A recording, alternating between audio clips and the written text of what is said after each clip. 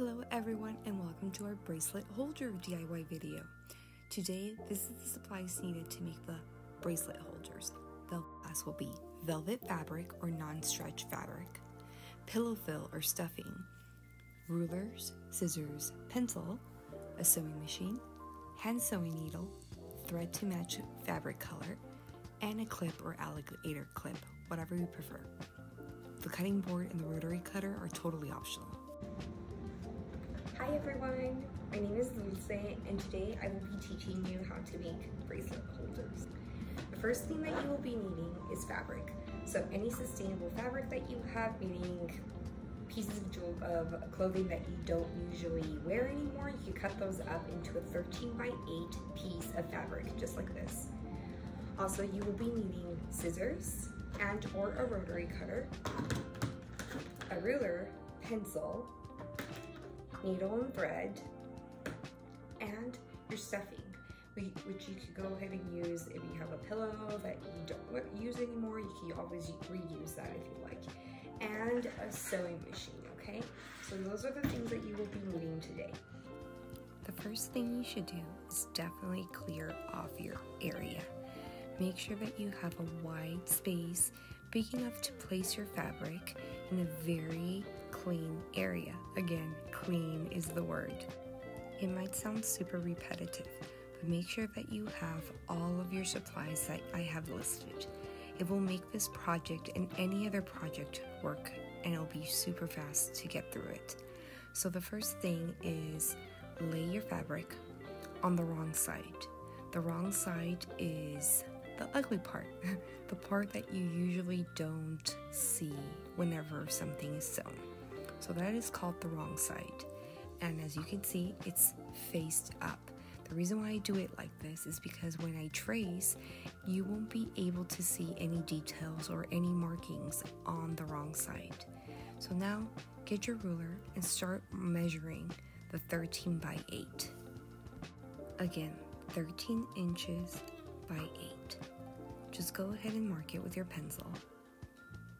That's 13. Let's do 8 inches on this side.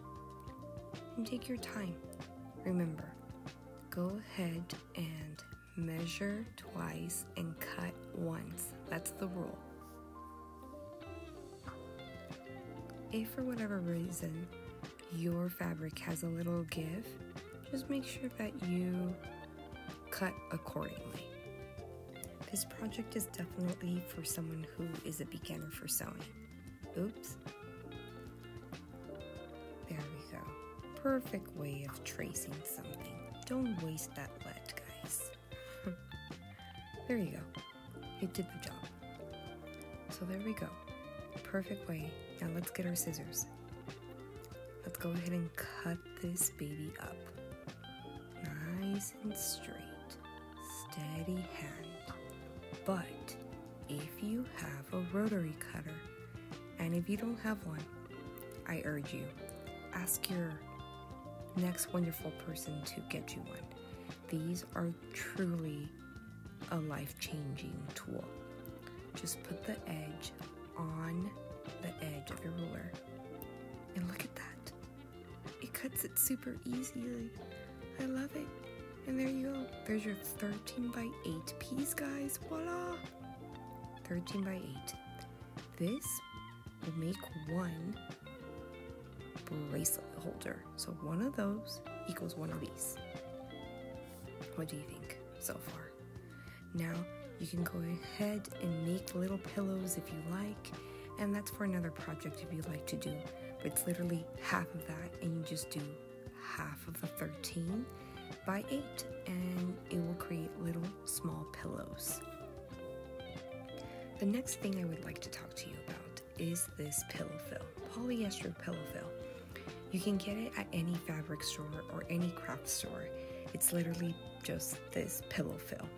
Um, I love using it in many projects, but also if you don't have it, you can always use pillows that you have laying around to stuff these little goodies um, very easy. Or if you don't have this pillow fill and you don't want to spend more money, take those socks that have been lying around because they don't have the other pair instead of this polyfill and use those, okay?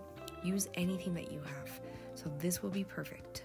Okay, so now that you cut your 13 by 8 piece, you have one piece that looks like this. Just measure it again. 13 inches by 8 inches, okay? It's alright, just to make sure three times it's all good. Now, to the sewing machine. Dun dun dun. Now, don't be scared. Super easy. Don't get frightened. It's just a machine. Set yourself comfortable. Make sure that everything is in order. Grab your supplies. You need scissors, you need your fabric, you need your thread. Make sure that everything is set. Make sure that your bobbin is fully loaded. Next up, take your 13 by 8 fabric piece, fold it in half. Make sure that the nice side is facing inwards. So now that you have folded your fabric piece in half, it's gonna look like this. And you're gonna start sewing. And when you do the first couple stitches, you're going to do a back stitch. It's just a back stitch of like two stitches. Make sure that all of your settings are good. I have like a number nine setting and it's ready to go. It's gonna be a half an inch seam allowance all the way. So straight stitch and back stitch. Keep going straight, a very, a very straight line. When you get to here, you're gonna stop and you're gonna flip the piece of fabric. Leave the needle in. It'll allow you to keep your fabric piece folded in half and not moved in any way. So continue sewing a straight line all the way. When you get to the corner, do the exact same thing. Leave the needle in, back stitch, and that's all you're gonna do. You're gonna do like half an inch in and make sure you back stitch. You're gonna leave a little hole. It's going to be like an inch that you leave uh, unsewn. But don't worry, we're gonna sew it back up. Get your scissors and get the points of your scissors obviously closed and make the little points of your pillow pop out. You want to make sure that you do that because then they're going to stay in and you don't want that. Now we're going to fill this pillow up. You can use lavender, you can use, uh, I've had people use beans or rice. It just depends on what you have in handy. So now to finish your project, you're going to have a little gap like this, a little opening. Okay, it's probably like an inch, inch and a half at most. You're gonna go ahead and fold it over and you're gonna sew it. The little alligator clip that I absolutely love are these. They're great to just help you out. You're gonna put your thread in on the inside and they'll keep it stable and steady. You can use one or two depending on what you want. And you just go ahead and sew an invisible seam. This will allow your project to look quite professional, like you are. But if you absolutely hate sewing by hand, then yes, you could use glue or any other type of adhesive for your bracelet holders to stay closed. This will be another way for you to finish off your project. So now that you have finished sewing the inside of it and it's completely closed, you're just gonna go ahead and hit it a little bit so that way you can disperse all the fill and it could go to all the edges. And there you go, guys. That's what you have. I made this one a little bit uh, thicker so that way it could hold my cuffs. But for my uh, elastic bracelets, I usually do a little softer one. So I hope you enjoyed this project and let me know what you think. And I would love to see pictures of your projects.